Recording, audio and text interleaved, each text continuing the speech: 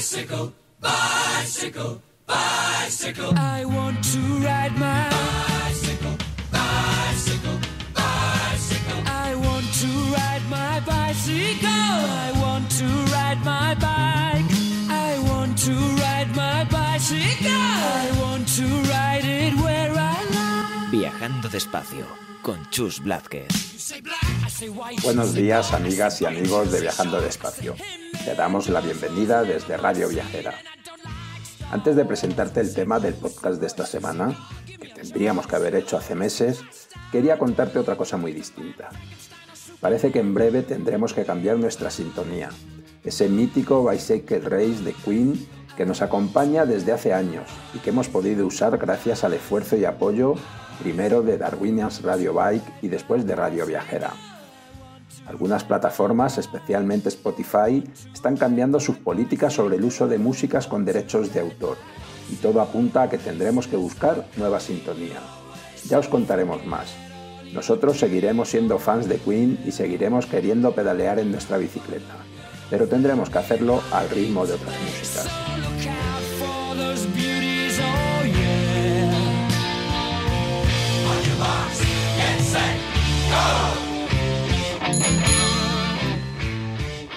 El año pasado nos enteramos de que Capitán Swing iba a publicar en castellano el primer libro de Derba Murphy, traducido por Lucía Barahona.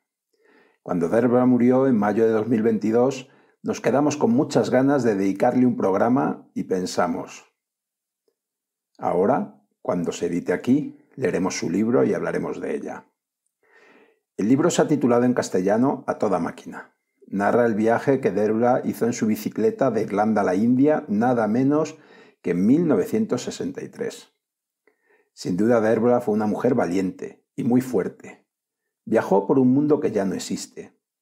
Atravesó Europa en un invierno crudísimo, pero esa parte la despacha rápidamente en su libro. Ella quería contarnos sobre todo su paso por Asia. Hacer su viaje a través de montañas, desiertos y bosques, donde empujó su bici por kilómetros y kilómetros. Era un sueño de infancia. No fue su primer viaje en bici. Incluso había estado en España en 1956 y en el libro nos lo recuerda en varias ocasiones.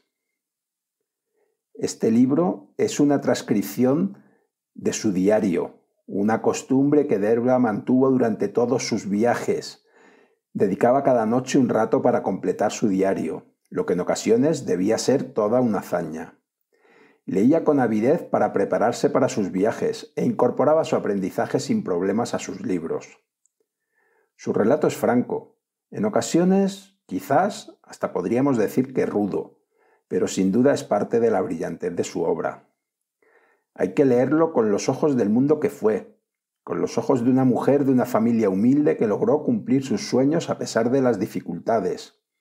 Una irlandesa que recorrió países que habían sido colonias inglesas hasta pocos años antes, y en los que el legado británico aún estaba muy presente, un mundo colonial.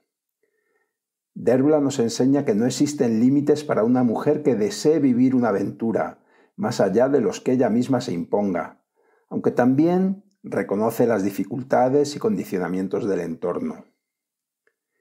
Me ha gustado la lectura y hay que agradecer a la editorial su apuesta por la autora, pero no quería quedarme en un comentario breve. Quería ir más allá de la reseña y charlar con una ferviente admiradora de Derbla, alguien a quien nosotros admiramos mucho, Blanca Onabike. Compartimos un rato de animada charla y hablamos no solo de Derbla y de viajar en bici. Espero que os guste y que os animéis a leer a toda máquina. Un saludo viajero. Os dejo con Blanca. Viajando despacio, vuelve a tener la fortuna de tener a Blanca, a Churi con nosotros, Blanca una bike, una amiga, una viajera en bici, y la hemos pedido hoy que nos dedique un rato para hablar de alguien de quien ella está profundamente enamorada, ¿no?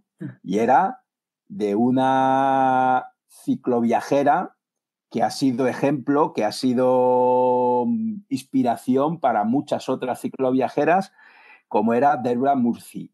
Y vamos a hablar con ella porque tenemos la fortuna de que se ha traducido a castellano una de sus primeras obras y queríamos que Blanca nos contara quién era ella. Bueno, ¿cómo empezar a hablar de, de Tebla Murphy?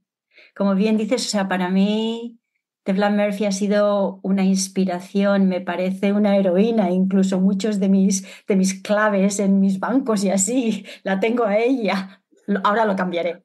Porque, porque eh, me ha inspirado desde hace ya muchas décadas. Mira, Debra es una mujer que nació en 1931 y en Irlanda, dentro de una familia republicana que incluso protegió a algún republicano que luego después fue ahorcado.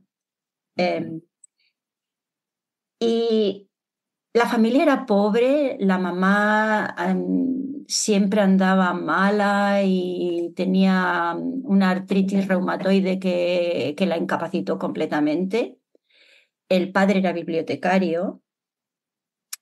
Y a los 10 años le regalaron una bicicleta una bicicleta usada de segunda mano.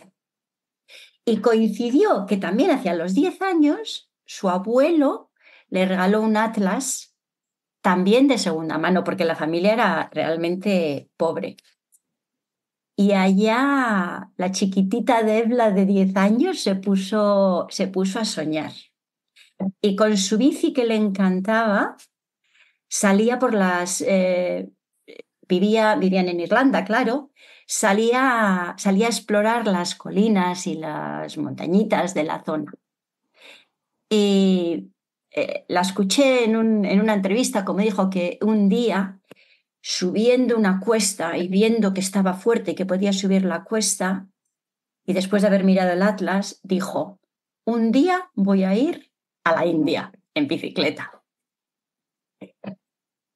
Pero yo qué sé, la vida le dio muchas vueltas, la vida fue dura para ella y su madre estuvo incapacitada. Entonces, em, aunque hacía excursiones y salía un poquito, cada vez un poquito más lejos, estuvo durante muchos años, durante 20 años, estuvo cuidando de su madre. A los 14 años dejó el colegio porque ni había dinero en casa y porque hacía falta que apoyara a la familia. Y, oye, ella hacía escapaditas, ¿no? Y cuando murió su madre es cuando se le abrió, que creo que fue en el 62, es cuando se le abrió la ventana de la libertad para salir a viajar. Y entonces en el 63, cuando tenía, tenía 31 años, una cosa por el estilo, fue cuando empezó su, su primer gran viaje. Ella había estado antes en bicicleta en Alemania y en España, y eh, con los alemanes no, no, coincidió muy bien. Se sentía mucho más española, entre comillas, que alemana. Y a su bicicleta la llamó Rocinante, aunque ella la llamaba Ross. Y era una bicicleta que para aquella época era súper, súper moderna, porque tenía cambios. Lo que pasa que esta mujer era un cero a la izquierda para estas cosas de la mecánica. No sabía ni arreglar un pinchazo. Entonces los amigos le dijeron que tenía que quitar los cambios rápidamente y de hecho quitó los cambios y se fue a, se fue a, dar vuelta por el mundo en una bicicleta de, de esto fijo, no tenía cambios. y, em, y, contaba que, que la, la, gente le preguntaba, ¿y qué pasa cuando tienes un pinchazo? ¿Aprendiste alguna vez a arreglar un pinchazo?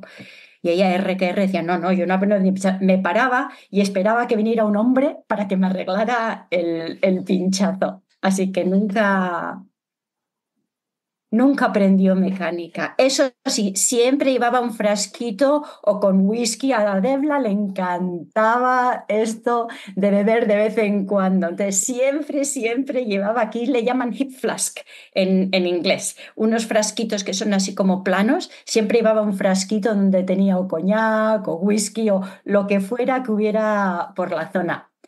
Y llevó, y llevó también en su primer viaje, llevaba poquísimas cosas, poquísimas, poquísimas cosas. La bici ya solo le pesaba casi 20 kilos, o sea, una bici de aquella época. Llevaba poquísimas cosas en aquel primer viaje y entre ellos sí que lo que sí que iba a haber era una pistola que la usó un par de veces contra unos lobos en Europa del Este. ¿Fue en Irán o en Irak? Contra unos militares. Bueno, está. No voy a, no voy a estropear el libro. Eh, le, podéis leer la historia en el libro. O sea que, no sé, una mujer excepcional. La otra cosa que tenía Debla es que era anticonsumista total y absoluto. Ya sabes cómo ahora todo el mundo está la última bici, ahora de repente sale en gravel, ahora de repente sale no sé qué. Ella continuó usando Rocinante durante 30 años, no cambió de bicicleta. Todos sus viajes los hizo con la misma bicicleta. Ahora somos muy dados a hoy, se nos ha roto un poquito la alforja, vamos a cambiar. Era anticonsumista total y absoluta. Una mujer excepcional. Lo, lo, cuenta en el libro también a propósito de la ropa que llevaba, ¿no? Que llevaba la ropa hasta que se le caía como si fuera gandrajos, ¿no? Claro, claro, claro. Lo que era también era durísima para historias de salud. Yo no sé cuántas costillas se le han roto a esa mujer en, en todos sus viajes. Y luego, cuando, cuando habla del miedo, que es otra cosa que además como mujeres solas solemos hablar cuando, cuando viajamos por ahí, ella decía que no, no le da miedo lo que pueda venir. Esos miedos de los que yo muchas veces a veces hablo, que son miedos que llevamos en la cabeza, no sé muy bien, pero Debla no tenía esos miedos. Se enfrentaba al miedo cuando el miedo realmente aparecía, cuando estaba subiendo una cuesta yo qué sé, en, el Tíbet y, de repente se le hacía de noche. Entonces, claro que sentía miedo, pero no sentía el premiedo de lo que, de lo que pudiera pasar. Es una mujer, mujer súper, súper interesante y siempre escogía viajar sola hasta que tuvo a su hija Rachel, que escogió tenerla ella sola en Irlanda en aquella época, eso te demuestra el tipo de mujer que era. Y siempre dice que, que no, que ella nunca se quiso casar porque quería tener la libertad absoluta de hacer lo que a ella le diera la gana. Y cuando tuvo a su hija Rachel, decidió que, que iba a dejar de viajar durante cinco años para estar con su, con su niña. Y lo decidió antes de tenerlo. O sea, fue una, una elección muy premeditada al ser lo que diríamos en ahora madre soltera, entre comillas, en, en, aquella, en aquella época. Eso sí, cuando la niña tenía como tres años, se la llevó a las montañas del Jura, ya para empezar a explorar un poquito lo que iba a ser viajar. Y luego, cuando tenía cinco años, se la llevó a la India, estuvieron viajando por la India. Viajó con sus nietas, tuvo, la, Rachel tuvo tres hijos, tres niñas, de hecho, y se las llevó, se las llevó a Cuba, fueron las cuatro a Cuba. O sea, una, no lo sé. No, es, que, es que no sé qué más contaros sobre Devla. Es que a mí me tiene completamente enamorada. Hay, hay una cosa que hablábamos antes de empezar a grabar, que, que, es verdad que hay un proceso ¿no? a lo largo de su vida, ¿no? de, de cómo ella también se fue politizando, tomando partido. Y, hay una cosa que es muy interesante y es cómo, claro, cómo ese primer momento, probablemente el viaje que ella hace, lo puede hacer precisamente por venir de donde viene, ¿no? Estamos todavía en, un, en una época donde todavía Gran Bretaña era la gran potencia colonial, que, que, es un mundo que después ha desaparecido completamente, ¿no? Nada es, nada es como era, ¿no? Y habla, y habla mucho de Afganistán, de Pakistán, sí. lugares donde hoy la situación es radicalmente distinta. Sí, sí, sí, totalmente. Y, de la otra cosa de la que habla, una cosa que, que Debla, lo que, si hay una cosa que Debla odiaba a tope, eran los coches. Si tú le preguntas cuál es la enfermedad de la sociedad actual, decía que la raíz de la enfermedad de la sociedad actual era con los coches y todas esas carreteras que se han construido por todas partes y, y añoraba, se enamoró de Afganistán, un Afganistán completamente diferente del Afganistán de hoy día, donde las mujeres tenían mucha más libertad, donde en algunas casas las mujeres eran las que llevaban la sartén por el mango. Y habla de cómo vive la gente en, en, esos pueblos remotos de las zonas del norte, sobre Gilgit y esas zonas que, uh -huh. que es el, el, el, Karakoram, ¿no? Donde está el Karakoram. Uh -huh. eh, ella fue por allá. Entonces, a, habla de cómo vivía la gente y, y, de la libertad de la gente. Hombre, cuando lees el libro desde, el, desde una perspectiva del 2024, sí que te choca un poquitito la manera en la que describe las cosas.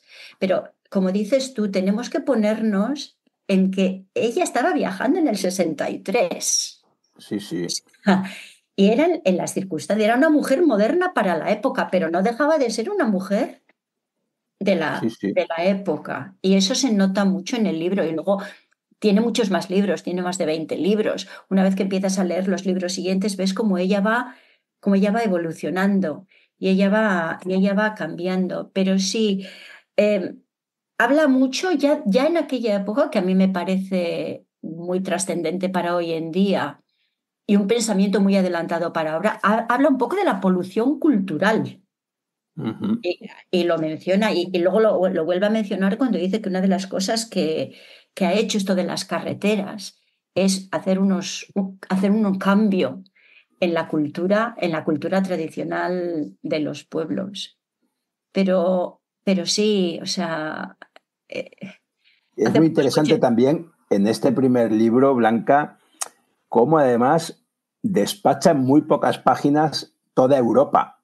O sea, ella tenía claro lo que quería contar, ¿no? Y lo que quería contar era precisamente lo más alejado de, la vida cotidiana, ¿no? Sí, exactamente, exactamente, exactamente. Y lo hace de una manera, lo hace de una manera como muy fresca, ¿no? Y mm. es el único libro, de, de, todas formas, el que está traducido al castellano ahora, es el único libro en el que es una transcripción literal de sus diarios. Porque en lo siguiente, una cosa que ella hacía, aunque, y, lo, eso se ve muy claro en el libro, libro sobre Tíbet, que es el segundo, una, una cosa muy, muy importante para ella era escribir su diario todos los días. Sí, sí, sale muchas Aunque veces. Estuviera este agotada, escribía su diario absolutamente todos los días.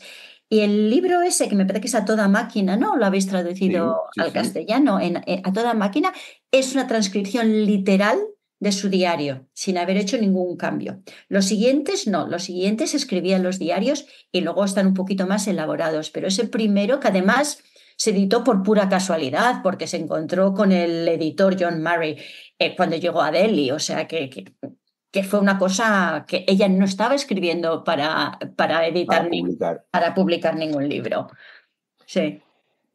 Y a mí me sorprende mucho leyendo el libro eh, el grado de, de arrojo, ¿no? De, de, meterse en sitios que hoy eh, casi ninguno de nosotros nos plantearíamos eh, acometer esa, esa empresa y, más eso, pues con una bici sin cambios, eh, sin prácticamente nada. Es más, decías que llevaba poco, pero en algunas partes del viaje ya dice, bueno, dejé casi todo porque para una cosa tan corta no me hacía falta nada.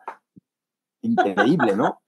y la espontaneidad, porque en realidad ves lo libre que se sentía esa mujer, que en un momento dado se iba para un sitio, en otro momento dado se iba para, para otro sitio. O sea, e, el equipo de aquella época tan súper básico que, que, llevaba la mujer. O sea, eh, a mí me encanta ver, la lista de, ver la lista de cosas que llevaba cuando la comparo con la lista de cosas que llevé yo cuando fui el primer viaje. Pero bueno, por, sea, por favor, tenía que haberle copiado en la lista de cosas que llevaba. Y, y yo creo que, que parte de ese arrojo es porque cuando ella dice que, que no sentía miedo anticipado, me, me lo creo.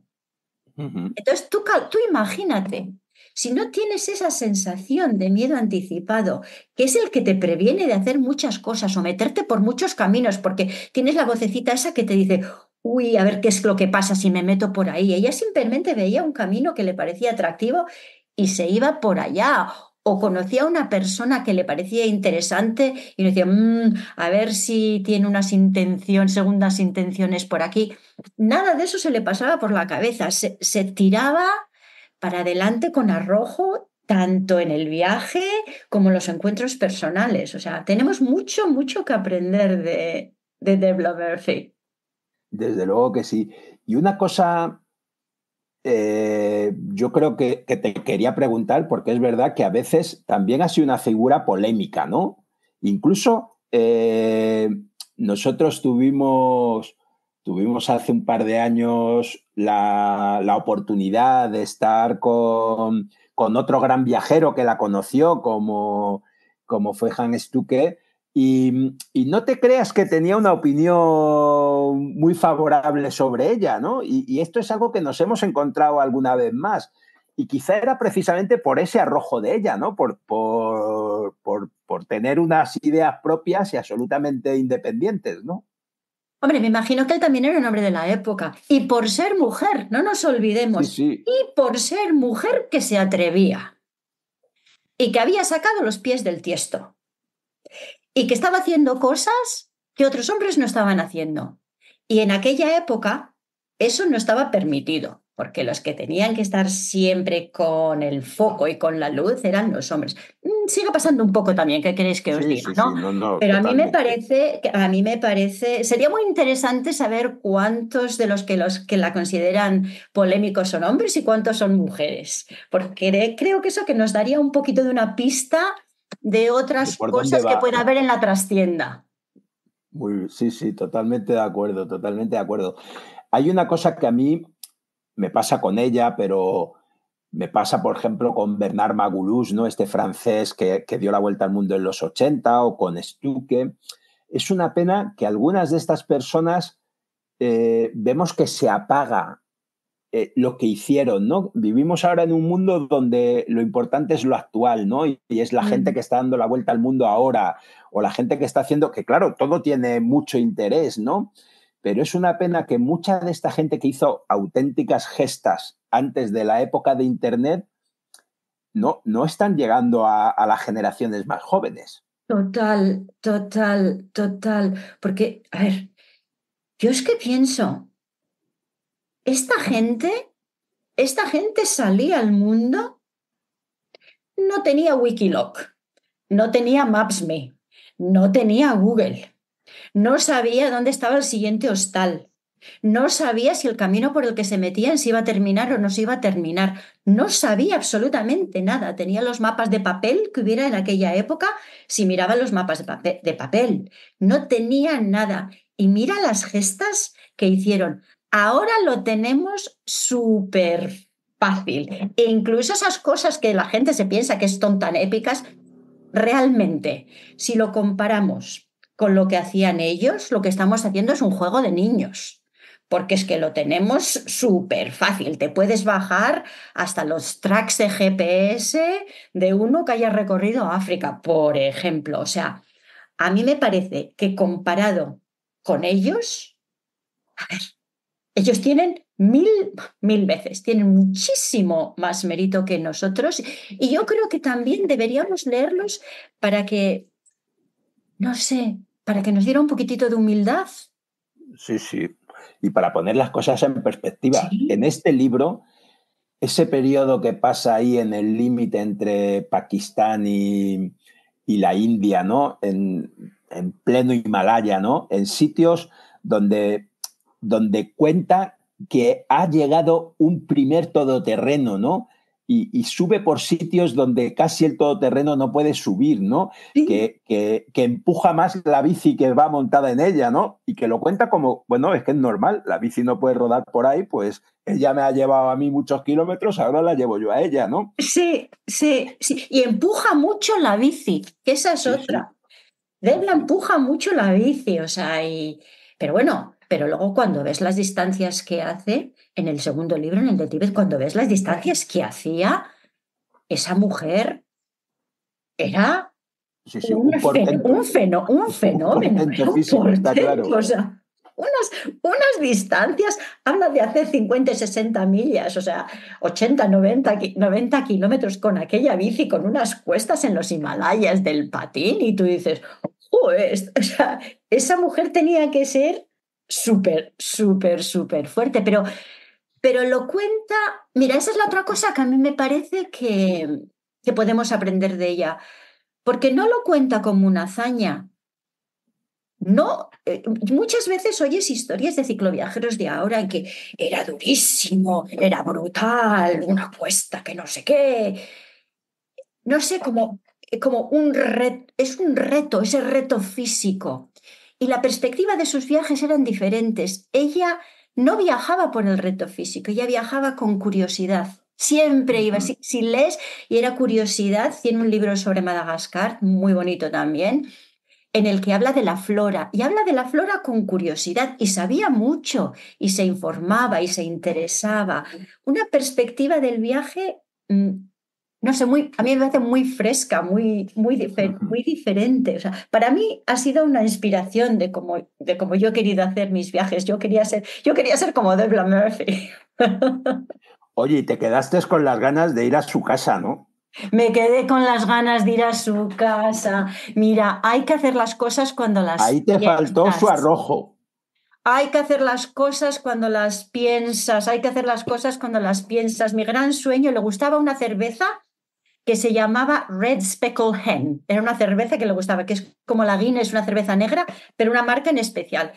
Y mi gran sueño, uno de mis sueños era ir con mi bici, ir con Foxtrot ir con la bici un día con unas cervezas en la alforja y decirle, ¿qué debla? Nos tomamos unas cervecitas juntas. Ese... Y lo perdí porque, claro, la mujer se murió. Pero de ahí aprendí también una lección, aprendí la lección de que hay que hacer las cosas cuando las piensas, eso de boya, no hay que ser un boya, hay que hacer las cosas cuando las piensas. Y me quedé con, me quedé con muchísimas ganas de conocerla, porque si, si miráis en internet y miráis fotos de ella ya cuando tenía 90 años, está mayor y está encorvada, se la ve ya muy mayor, ¿no?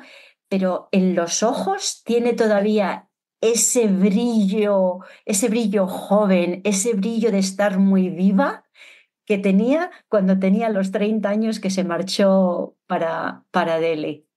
O sea, como podéis ver, es que es una mujer, para, para mí es una mujer excepcional, una mujer que, que me ha marcado, que me ha marcado. Oye, Blanca, y para terminar, tenemos ahora uno de sus libros en castellano, pero tú nos recomendarías algún otro, algún otro de, de los que tú conozcas que te parezca que, que no nos podemos perder. Oye, son tantos. Si os interesa saber sobre, sobre su vida antes de que empezara a viajar, desde que nació de los 0 a los 30. No sé cómo lo traducirías en castellano, pero tiene un libro que se llama Wills, que es el libro que escribió cuando decidió que iba a estar con su hija esos cinco años, que iba a dejar de viajar. O sea, ella siempre dice, yo pude dejar de viajar, pero me di cuenta que lo que no podía era dejar de escribir. Entonces ese es un libro súper interesante porque te, te, cuenta un poco de dónde, de, dónde viene, de dónde viene ella, de la situación de Irlanda en ese momento, es muy interesante. Y luego a mí me gustó mucho el del, el del Tíbet, porque una vez que llegó a Delhi, eh, estuvo trabajando con refugiados tibetanos y a ella, aunque nunca ha sido religiosa, eh, de hecho, rechazaba la religión, el budismo y el tiempo que estuvo con, con los tibetanos le, marcó, le marcó mucho. No sé, alguien que coja el proyecto y que los vaya traduciendo todos de uno en uno. El de Laos también es muy interesante porque es cuando Laos empezó a abrirse al, al turismo y entonces, no sé. Bueno, a ver, eh, el, Laos que conoció ella es muy diferente del Laos que conocí yo en el 2016. He vuelto ahora en el 2024 y ya están haciendo carreteras, los chinos están haciendo carreteras absolutamente por todas, por todas partes. Es un Laos completamente diferente del del 2016. Pero sobre todo si vais a viajar por, por, el, por, el, eh, por, Asia, ver un poco cómo eran no hace mucho tiempo, porque eso me parece que lo hice en los 70, en los, en los 80 entonces, no sé, no sé. Alguien que coja el proyecto y que los vaya traduciendo todos de uno en uno. Esa es, esa es buena propuesta. Oye, Blanca, y ya sí que para terminar, ahora eres tu abuela. Ten cuidado, ¿eh? porque mira lo que pasó por regalarle una bici y un atlas cuando tenía 10 años. Ojalá. ¿Cómo nos marcan, cómo nos marcan las cosas que nos pasan de pequeños, ¿no? Ojalá, ojalá. Pues mira, ese es otro sueño, que ese sí que lo voy a hacer. Nunca llegué a casa de Debla Murphy, pero sí que voy a hacer un tour chiquito con, con, mi, con mi nietecito. Cuando crezca lo suficiente, ahora solo tiene cuatro meses. Muy bien.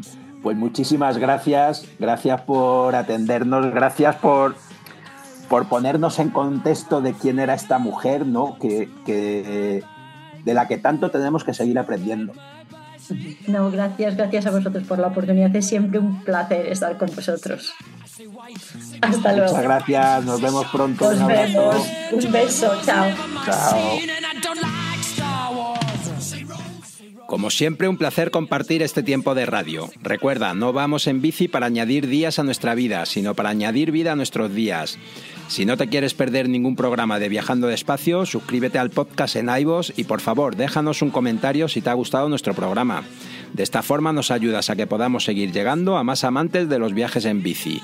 Estamos en Facebook, Twitter y esperamos tus propuestas de ruta, viajeros, tus comentarios. Si te apetece contactar con nosotros, puedes escribirnos a viajandodespacio@rutaspangea.com.